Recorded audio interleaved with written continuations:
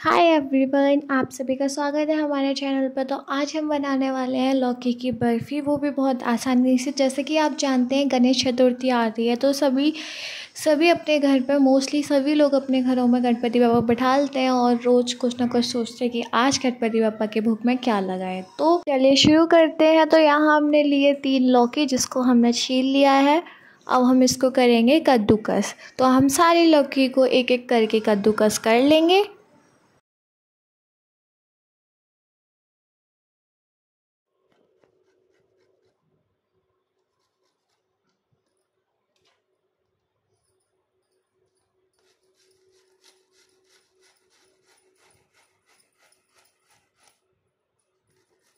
तो यहाँ लगभग हमारी सारी लौकी अच्छी तरीके से कद्दूकस हो चुकी है। तो हम यहाँ लेंगे एक कढ़ाई, उसमें हम डालेंगे एक से दो चम्मच घी और अपनी लौकी को डाल देंगे। ध्यान हमें लौकी का पानी निकाल के डालना है।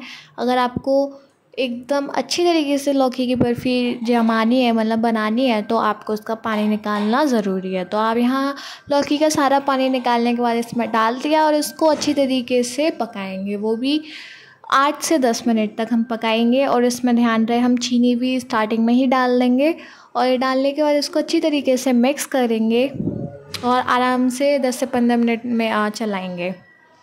और फ़ूड कलर आप देख सकते हैं। अगर आपको अच्छा कलर चाहिए तो आप हल्का सा फ़ूड कलर डाल सकते हैं और ध्यान रहे ग्रीन कलर डालिए तो ज़्यादा अच्छा रहेगा।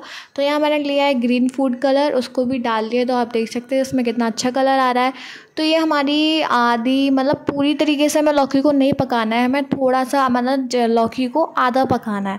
आधा पकाने के बाद उसे हम निकाल लेंगे एक प्लेट में और फिर उसी कढ़ाई में हम लेंगे मावा। तो यहाँ मैंने लिया है मावा और उसको अच्छी तरीके से पहले गरम करेंगे।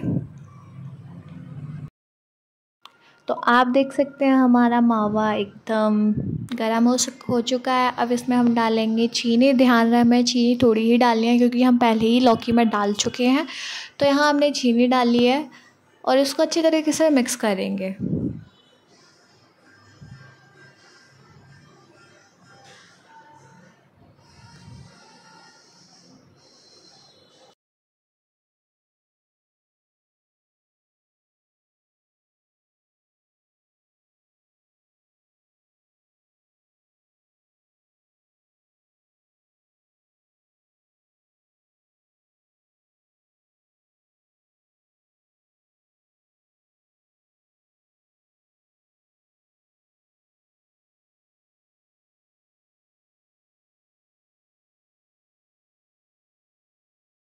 तो पाँच से दस मिनट चलाने के बाद हमारा मावा कुछ इस तरीके से हो हो चुका है। तो अब इसमें हम डालेंगे अपनी लौकी, जो हमने आधी पकाई थी।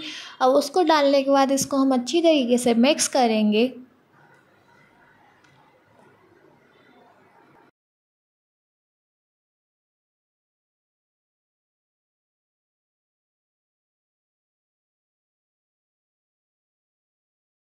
और इसको हम कम से कम दस से पंद्रह मिनट तक अच्छी तरीके से पकाएँगे, क्योंकि इसका पकना बहुत ज़रूरी है। तो ये हम पका रहे हैं। अच्छी तरीके से इसको चला चला के पकाइए और फिर हमें, हमने एक प्लेट ले लिया उसमें हमने लगाया है घी। अब इसमें हम डालेंगे इलायची पाउडर।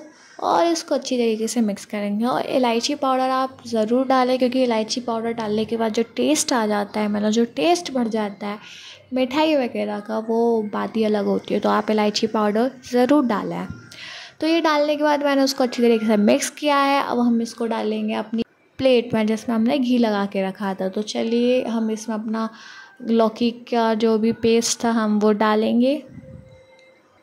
हम अपना सारा पेस्ट डाल देंगे, जो भी हमने लौकी का बनाया था, और इसको डालने के बाद हम अच्छी तरीके से चारों ओर फैला लेंगे। फैलाने के बाद इसको कम से कम हम 20 से 30 मिनट तक इसको जमने के लिए रख देंगे।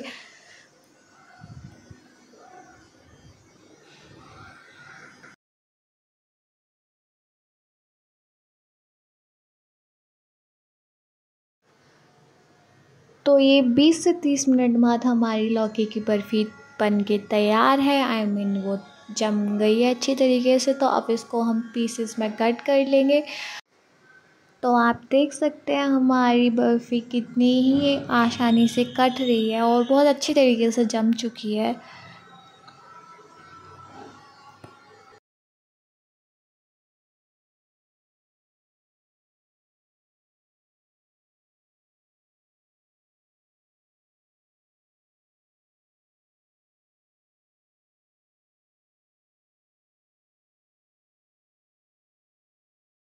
तो एक एक करके हम अपनी सर्विंग प्लेट में अपनी बर्फ़ी को सर्व करेंगे। तो हम यहाँ पर एक एक करके अपने पीसेस निकाल रहे हैं और अपनी सर्विंग प्लेट में लगा रहे हैं। और अगर आप इसके ऊपर ड्राई फ्रूट्स पर जो भी डालना चाहते हैं, वो आप डाल सकते हैं। तो यहाँ मैंने काजू को बीच में से कट कर लिए सॉरी, काजू नहीं, बादाम को मैंने हाफ़ आधा आधा कट कर लिया था और उसको ऊपर से लगा दिया। तो आप देख सकते हैं हमारी लौकी की कितनी अच्छी लग रही है और ये खाने में भी बहुत टेस्टी थी। तो अगर आप ऐसी और अच्छी अच्छी रेसिपीज़ वीडियो चाहिए तो प्लीज़ चैनल को सब्सक्राइब करें।